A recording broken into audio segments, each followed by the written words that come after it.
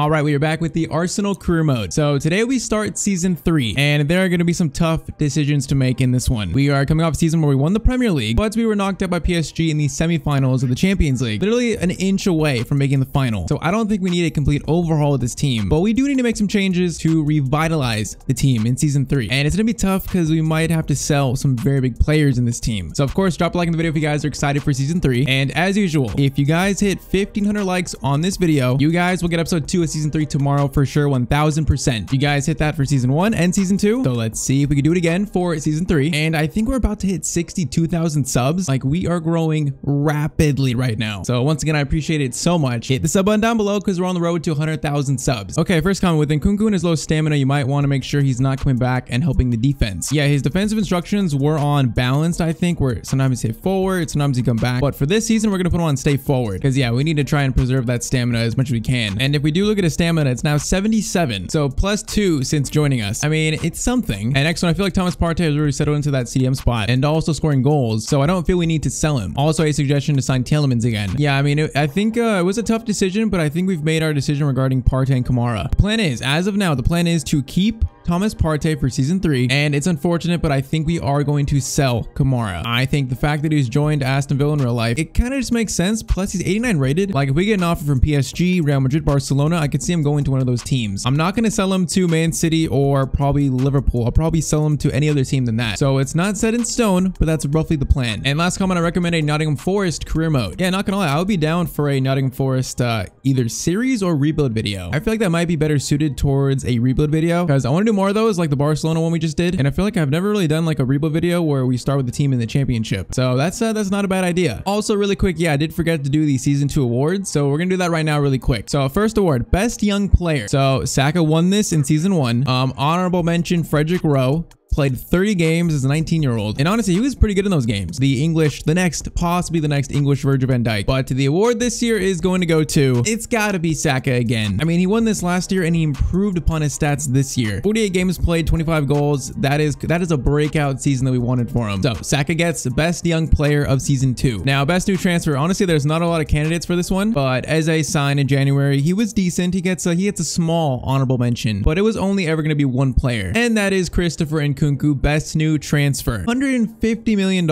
I think 17 goals, 14 assists. You would like those numbers to be a little bit higher, but honestly, for a first season, that's not bad. I think one season of adjusting to the Premier League. Season three, hopefully a breakout season for him. But literally him and Eze were the only candidates, so this one was uh, pretty straightforward. Now, player of the season for season two. Season one, it was won by Gabriel Jesus. Once again, Martin Odegaard gets a honorable mention being the captain of this team, the leader. 18 goals and 17 assists is pretty good. If he would have hit the 2020 mark in goals and assists, he might have won it. But he gets a very big honorable mention. Also, Saka does too. But come on, come on. It, can only be one player. Gabriel Jesus once again wins player of the season for season two. 38 goals, 15 assists. You just, you can't really argue with that. The joint highest scorer in the Prem alongside with Sadio Mane. He has been so good in the series. I expected him to be good, but maybe maybe not this good. So that is a second player of the year award for Gabriel Jesus. Okay, so we actually haven't fully entered uh, season three yet. We're currently in June, so we still have to advance to the next season. Um, I'm not sure why I have a 57 manager rating. I kind of feel disrespected, but we have an offer for Renato Sanchez, and it's from PSG. Um, we are going to try to loan out Nezovic, our CDM we found in Serbia. Now, Renato Sanchez is a player that's interesting because we have Gundogan signing on from pre-contract. So he's joining us in season three. And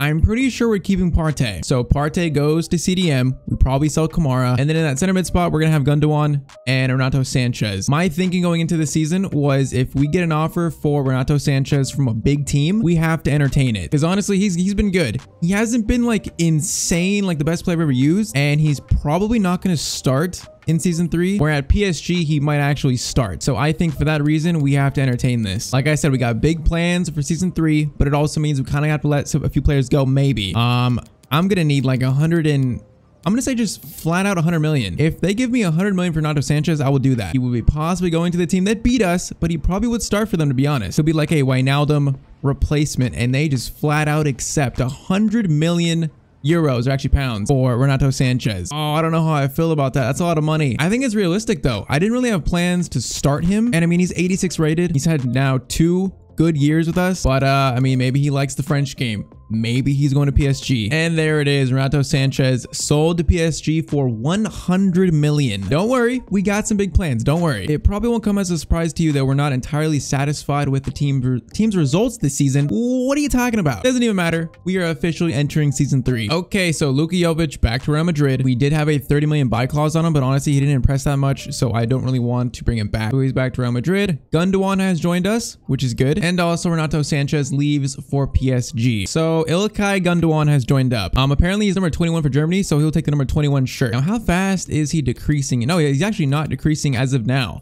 So that's good. So he is basically Renato Sanchez's replacement in a way. So we have a lot of players back from loan. So we got to take inventory of the squad really quick. I think we're going to try to loan out Van Voort again and then Matt Turner back up, and then Runarsson, just another third choice keeper. Um, Tierney Tavares, happy with that. Saliba, 1000% staying. Can't really say the same about Gabriel, but Benjamin White is for sure on the transfer list. I think Saliba Gabriel have just outgrown him so much that it makes him, it shows that he's not actually, I don't think he's that good in this game. So he is most likely sold. Frederick Rowe, of course, staying. Now, right back spot is interesting. Tomiyasu, starting right back, he's not going anywhere. Um, Aaron Hickey's back from his loan spell. He's 79 rated. I didn't think he was that good in season one. He's got 89 acceleration and uh, 77 sprint speed. is actually not that quick. I feel like it almost makes sense for us to buy a right back that's really quick to contrast with Tomiyasu. So for that reason, I think we might try loaning out Hickey again. And then Ainsley Maitland-Niles, I've liked him. I really like him in this game, but I think his time here is done. So Maitland-Niles is transfer listed. Um, Partey staying, Kamara transfer listed. Patino loaned out again, hopefully. Sambi Lokonga, we might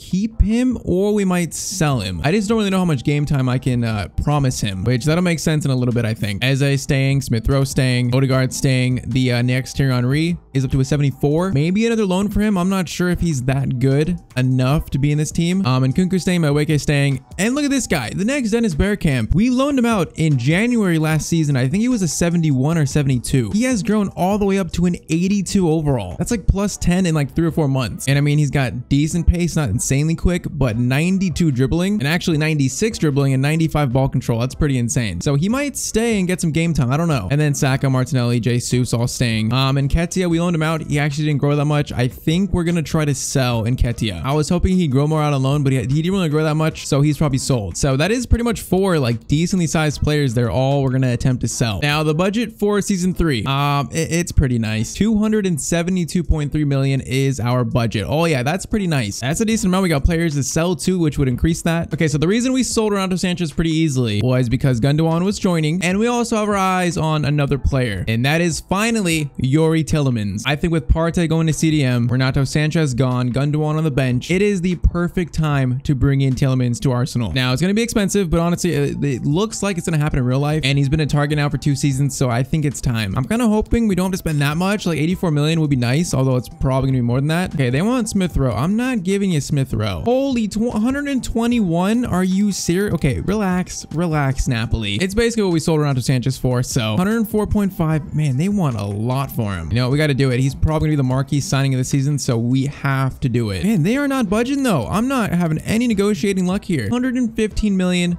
Just accept, please. Thank you, Napoli. That is 150 million, 115 for Tielemans. It's uh, still not our record-breaking signing because, of course, Nkunku was 150 million, but I think it's just the perfect time to bring Tielemans into this team. And Tielemans has signed up 115,000 a week. Honestly, not that much, but we have our new star midfielder. So there it is. Arsenal fans might be seeing that in real life at some point very soon, unless I just jinxed it, which, which hopefully not. But the man is going to be very good for us. So Gundogan is going to be back up coming off the bench, and Tielemans joins Thomas Partey in that midfield to form a new partnership. Okay, Borussia Dortmund want Maitland-Niles. That seems like a good offer, honestly. 18.5, I will just accept that. Probably a decent move for him. So Maitland-Niles has been sold to Borussia Dortmund. Now, Chelsea want Kamara. We haven't got an offer yet, so Chelsea is the first team to come in for him. Man, we can get 165 million for him. If we if we send him to Chelsea for that much, I think I would do that. I just don't want to send him to Man City. Like, I would rather send him to like a Real Madrid, Barcelona, but if it's Chelsea, it's got to be, it's got to be 170 million. There's no way they accept that, right? Yeah, okay. I would rather send him to a team outside of England. So they just they just uh, say no to that. Um, Sporting one Nketiah honestly might just get a little bit more, but we're gonna sell Nketiah. I know he decided to do in real life, but I think this point in season three, he's just he's just not really good enough for this team. So 20 million Nketiah is probably sold. Okay, apparently not because he doesn't want to go to Portugal, I guess. But offer for Kamara from Atletico Madrid, and they're offering Jimenez in a swap deal. I mean, that's actually pretty interesting. But I think I'm just gonna ask for cash. Um, like 130 million would probably be good enough. I think I would probably send send him to Atletico Madrid for that. So 130 million. What do they say to that? They're offering Paul Pogba in a swap deal. Um, I don't want Pogba. 125. Just accept it. And they do. Okay, 125 million for Kamara. He might be going to Atletico Madrid. I mean, that's that's a lot of money for him. He is insanely good, but I think uh, it's it's the, it's for the best. And there it is. Kamara has been sold to Atletico Madrid. I mean, hey, we, our budget is like replenished in two seconds. So that kind of does mean we need a backup CDM. We need a backup, uh, maybe another winger or striker, maybe, and also probably a right back. And we still have to sell uh, Ben White too. Now, one thing I'm thinking about doing is uh, what if we actually swapped Aaron Hickey with Tariq Lamptey from Brighton? Because I feel like Lamptey is is literally the opposite type of player than Tomiyasu. He's an attacking fullback who's very small and very quick. I feel like almost he'd be better than Hickey. And I mean, I feel like what's the point of loaning out Hickey when we could just probably just settle this uh, right back spot? And I feel like 12 million plus Hickey, that's not a bad deal. 17.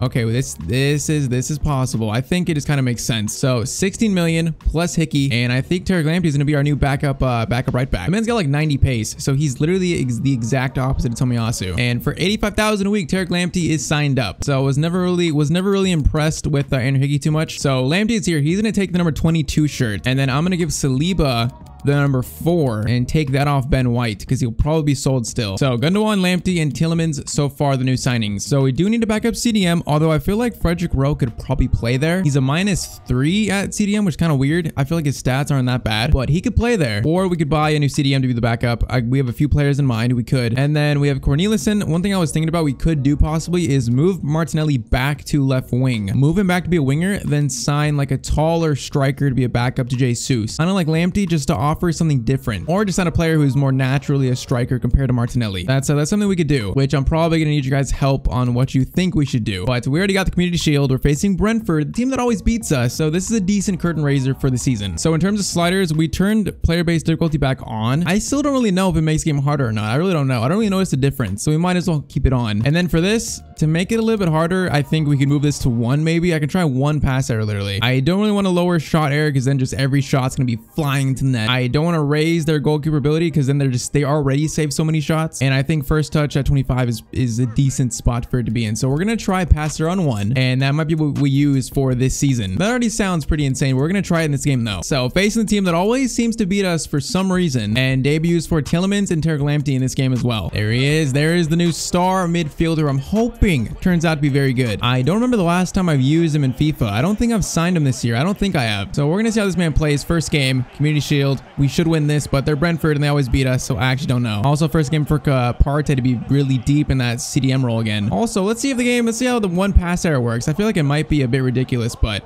we're going to try it. Okay, Nkunku plays a good ball to Jesus. And Jesus is going to wait for friends wait for friends, and that pass was a little bit too strong. Tierney to Jesus, Jesus with room to shoot, and that was a that was a pretty good shot from Jesus. So this season's gonna be all about going for the Champions League, probably going for the Carabao Cup too. I feel like we haven't won the Carabao Cup. I don't think we have, right? Or did we? I know we won. No, we didn't. We won the FA Cup in season one. So, I mean, the Carabao Cup is a trophy we've not won yet. So, of course, that trying to defend our Premier League title and more importantly, going for the Champions League. Made it to the semis last year. It would be nice if we could win that. And that is pretty much the main goal, I think. Okay, Tielemans plays a beautiful ball to Saka. Bar post, we got Jesus. Jesus actually climbed for that, but it's a good defensive play. Nkunku, I want him to have a breakout season so badly. But that is into Tielemans. Oh, we had a chance to score on his debut. That's going to go out to Thomas Partey. Part. Oh, Thomas Partey. Okay, someone's injured. But uh, Thomas Partey is going to run and celebrate because he just scored a banger. I'm kind of worried about the injury, not to lie, but that was a good shot. This is why I'm so glad we're keeping him. I feel like he's the one he's the one mainstay in this team. He's got a lot of experience and like he he can do that. Like the man is so good. For a first goal of the season, that's a that's a pretty looking first goal of the season. Oh, Saka has to be taken off though. Okay. Saka forced off in the community shield. That's that's not that's not good. Um, we're gonna give a chance to Dennis Bergkamp, his regen, Cornelissen, but that's that's never good. The injuries where they need to be taken off, they're always big injuries. So that is actually not good at all. That can literally impact our season so much if that's a bad injury. So we'll have to wait and see, but uh, that is uh, that is not good. Hey, that has kind of made me a little sad about this game. But Nkunku just literally scraped the netting with that shot. Bro, I hope he's not injured badly. I hope. I'm actually terrified now. Jesus to Nkunku. Nkunku with a little bit of space. That is into Cornelissen. The next Dennis Bergkamp scores. This guy has grown plus 10 in half a season. I don't think I've ever seen that before. And he does score. The man might get some game time this season. It was a tap in, but you know what? He's still, he's still scored. And that's all that matters. Tariq Lamptey. Man, Lamptey is like rapid quick. And the man's only 5'4". So he's literally a little pace merchant, and I love it. It offers us something so much different at that right back spot compared to Tomiyasu. Look at the man. He's just rapid quick. Tielemans. Okay, that was a bad ball. Okay, now Lamptey is injured. Oh, I'm about to scream. What is happening? What is happening right now? That is two players having to be wheeled off the field? Like, bro, what? Okay, I guess Tomiyasu comes on. Can you imagine we get two? Oh, we kind of just got, he just got kind of destroyed. Yeah, I'd, I'd be injured too. If we have two big injuries like that, that is going to be insane. Man, Brentford have turned into our rivals in this series. I just don't like Brentford. You know what? For that, we're going to embarrass them. We are going to embarrass them. And Nkunku to Jesus, Jesus, and that's 3-0. I guess if they can't beat us, they're just going to destroy us physically through violence. Okay, they might score one, but that's a good save by Ramsdale. That's a very good save, and he does a second save. Now, our injury sliders are on 65 frequency and, and 25 severity. We did up those, but I used to play on even, I used to play on 75 frequency, and I still never got injuries. So I don't think it's the sliders. That's just two freak injuries in a game like this where they both got destroyed physically. And I am just hoping and praying that they are not bad injuries. And I'm hoping for no more. Do you know what, Tielemans, let's just shoot and end this first half. That is that first time cross from uh, Dennis Bergkamp. It's actually a handball. I mean, I'll take it. Gonna be a pass to Tomiyasu. No, it's not, because Oscar Heel just steps forward. Okay, second half begins in the locker room right now. We just had a little prayer circle where everyone got in a huddle, and we pray that uh, that Lamptey and Saka's MRI results are not bad. And we also pray that Brentford do not hurt any more of my players. We also played. We also prayed about that. Tielemans, man, Tielemans has played some very good passes in this game, and Cornelissen plays it through to Nkunku. This should be four. It should be four, and it's going to be four. Nkunku off the mark. Wow, Brentford have been crap this game. They've been they've been just simply crap. I don't really notice the one pass error, but this just might be one of those games in FIFA. It might be one of them where you just win. Like where they just they just did not show up to play. And honestly, we have a good team too, so that's probably probably a small factor in it. Hey, Jesus, just don't get injured. He's just running through, and I I literally had so much space that I occupied too much of it. I am sick to my stomach. Look at all this space. Why are Brentford playing like this? It's so weird. Nkunku, Driving a little bit. Beautiful. Oh, how do we not get that to Jesus? Okay, we got to save some players here so they don't get injured. So Martinelli on, Madueke on, and also Smith Rowe's on. Oh, that's the clean sheet. Nope, Ramsdale makes a great save. Man, I honestly thought we'd have to replace Ramsdale in this series, but he's 88 rated. I don't think we'll have to. The man is actually amazing in this game. That is another, that's another save by Ramsdale. He's just stat padding at this point. Cornelissen through to Martinelli. Martinelli, where's the pace? Okay, there's not much pace there. But we're going to go to Tomiyasu. Tomiyasu is going to feed Martinelli. There's the turn from Martinelli. Beautiful. Beautiful. Oh, the finish left so much to, to uh, desire there. I'm still unsure if we should keep Martinelli as backup striker or move him back to a winger. I'm honestly not sure. Because that would mean we'd have to sign a new backup striker. we get one more goal. It'd be nice. Tielemans. Okay, where's the space? Where's Thomas Partey? He, the man could shoot. I really like Thomas Partey's shots. But that's going to be into Martinelli. Martinelli is going to make it five. Okay, it's good to see him scoring. I just still don't know if he should be a striker or a winger. But 5-0, that is a thumping and that is also game. So, I mean, good debuts for good debut for Tielemans, but I'm just worried about Saka. I'm also worried about Tariq Lamptey. So, Thomas Partey gets to lift the Community Shield. It's a very large trophy. I remember saying that last season, but I'm just worried about Saka and Lamptey. So, we got to find out about this. Okay, so there's only one player injured message so apparently one of those two um were not injured, I think. Oh no, they're both injured. Oh, it's just how long are they injured for? Oh, I'm just scared. I'm scared to even look. I'm scared. First one is going to be Saka. Okay, four weeks with a concussion. That's not bad. Oh, that could have been so much worse. Saka's four weeks and Lamptey Tariq Lamptey's out with an ACL injury for seven months. Okay, so my plan about Lamptey and uh, Aaron Hickey that literally just got destroyed. Lamptey's gonna be out until February. Like we need a backup right back now. Oh, that's that's so bad. But honestly, if I gotta be honest, I'm glad it's him and not Saka with a big injury. Saka four weeks, we can deal with that. Man, we need a we need a right back now. I don't think that right back is gonna be Ben White though, and I don't really want Diego Carlos either. So I would just like cash. Can you give me just cash for Ben White, please? 43 million.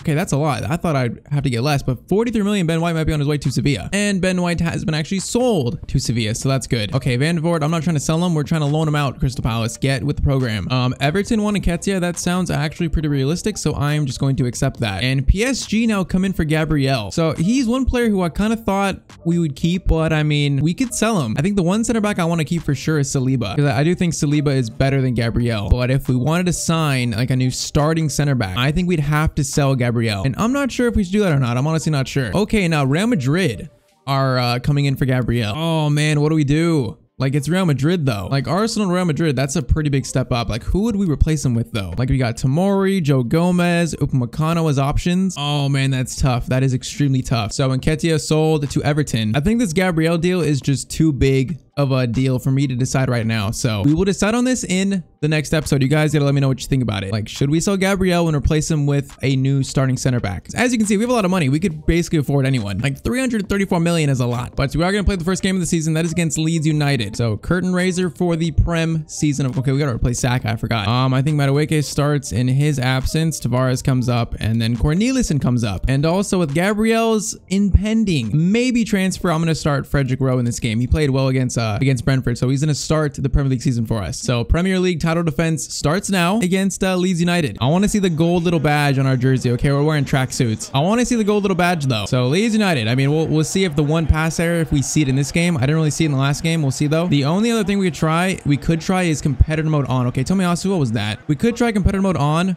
but the last time we tried that, it it got very annoying because I feel like the CPU, it, I don't I don't know how much it actually changes them. It just makes them do skill moves every two seconds. So I don't know how I feel about that. It's something we could try though. But first game of the season, we will see what we can do. Odegaard, okay. Nkunku, are you on side? I think he's on side. It doesn't matter. His shot's gonna be blocked though. Okay, that's a good ball. That is a very good ball to Tyler Roberts. The shot though is terrible. I think last season we won the Premier League on a very low points total. So if like the Man Cities, the Liverpools, they play better this season, it's going to be a much closer title race, I think, because they all underachieved by a lot. So that is something to take account of. And why would you go with your left foot? If it was right footed finesse shot, it'd be a goal. You know what? We'll send this corner in. Why not? We haven't done this in a while. And that is actually like a good corner, but uh, comes all the way out for it. Okay, that's a very good pass. Ramsdale, though, is an absolute god. I don't know how he just saved that. The man is a legend. The scoreboard is still glitched. Oh, Tielemans, that's a good steal. Man, Tielemans, he's had a pretty good uh, first few impressions. I don't know if he's going to score as many goals for our team, but Jesus is, and that's 1-0. And that attack, that attack is just too deadly. Even without Saka, our movement in this formation is just so good. And that's a good ball. I feel like their passing is a bit better, not gonna lie. So I'm kind of noticing it a little bit, but Tomiyasu is still too strong. They're not playing too bad though. Play playing much better than Brentford at least. But once again, our attack is just looking too deadly. Oh, Jesus, how do we not get that to uh, though? Oh, Thomas Partey is just so good. Man, we make so many tackles that lead to counterattacks just like this. And Nkunku's got the pace. He should have the pace. Maybe not all the pace. Cuts inside though. And Odegaard gets in the way. It doesn't matter though. Gabriel Jesus and also Nkunku are on the score sheet. The first game of the Premier League season. I really want Nkunku to have like a 25 plus goal season. And first game, he's got one, which is good. Okay, that, that was a bit embarrassing. Oh, Saliba just gets in the right way though. Yeah, we kind of just ran into our own player. That is kind of embarrassing, not gonna lie. Odegaard, what a good ball to Madueke. Madueke lifts it up for Jesus. Jesus gets it to Odegaard. Oh, I wanted to finish that off so badly. Yeah, I mean, so far, the Premier League champions not looking too bad in their first uh, game in their title defense. Odegaard from distance. That's off ahead. But it's fall to Madueke, and he's going to get a cross in to Jesus. Jesus header. And it's going to be Nkunku with a tap in. Oh my. That was hilarious. That was two deflections that led to that. And uh, Nkunku has two in this game. Okay, we are we are just bossing this game right now. We might have to try competitive mode on. We might have to try that in the next episode and see if we notice a, uh, a decent difference. Okay, okay, okay. That was pretty good passing, but still, they're shooting. That shot, it was Holgate though, a center back, so that's probably why. Tielemans to Odegaard, Jesus through to Tielemans on his Premier League debut for Arsenal. It's a good shot, but it's a good save. And Nkunku is on a hat trick, so we're going to turn and we're going to turn the Jets a little bit, and we're going to finesse this into the net. No, we're not. Frederick Rowe shot. Okay, Frederick Rowe doesn't quite have the have the shot. Is a good ball. But Ramsdale is literally just a god. I don't know how many saves he's made. Man, it's absolutely amazing. But okay, subs on, Eze's on. Um, Gundogan is on for his Arsenal debut, which he just uh, got beat there by Simeone. And also Nuno Tavares on at left back. So uh, let's see how Gundogan plays. I do feel like Gundogan is a realistic feeling signing for Arsenal, I think. Okay, that's a good little pass. And that's going to be to Jesus. We're going to wait for Eze, who was just brought on. Finesse shot and Eze. Oh, get another chance. Okay, he just fell. And we did not score that. That is a very good ball. Is Ramsdale going to make another save? Okay, Saliba just blocks that. Man, Saliba is a beast. We haven't really missed Gabriel in this game because uh, Rowe and Saliba have actually done very well at the back. Okay, Eze, what, what do you got this time? What do you got? Drives in. Okay, Eze just got it. That was a foul, yeah. Um, 30 yards out. You know what? I'm shooting this. Why not? You know, Odegaard? Little, little shot. okay, it was on target at least, but it wasn't. It wasn't that good. Yeah, I mean, Leeds honestly haven't been terrible this game. It's just, uh, I think the Premier League champions just a little bit too much for them to handle. Okay, Madueke, Nuno Tavares, get that to Eze. That did not work. But Tavares is going to whip this one in. That's actually a beautiful cross. Why would it not give me Jesus, though? That makes, uh, doesn't make a lot of sense. But all right, first game 3-0. Actually pretty comfortable. That is a good way to start our Premier League title defense. Okay, I need you guys help in the comments. What do we do with Gabriel? Do we sell him to Real Madrid? Um, we need a center back and a right back to replace Lamptey for this season uh, for most of it. I think it'd be nice or it'd be, it'd be smart to sign a center back that can play right back because that would take care of the Ben White replacement and also the backup right back replacement for the beginning of the season at least, the first half. So a center back can play right back. A uh, we still need a CDM probably. Should we make Martinelli a winger and buy a backup striker? We got a lot of things we need to decide upon. So I need you guys help in the comments for sure. And next episode we will make some more big decisions for this team. I think Tielemans is going to be really good for us though. So leave in the comments what you think we should do. Drop a like on the video if you guys are excited for season three. And like I said, 1500 likes on this video. You guys will get episode two of season three tomorrow for sure, 1000%. And of course, hit the sub button. We're on the road to 100,000 subs and we are growing rapidly right now. But that is it. I will see you guys in the next video. Hope you have a great day.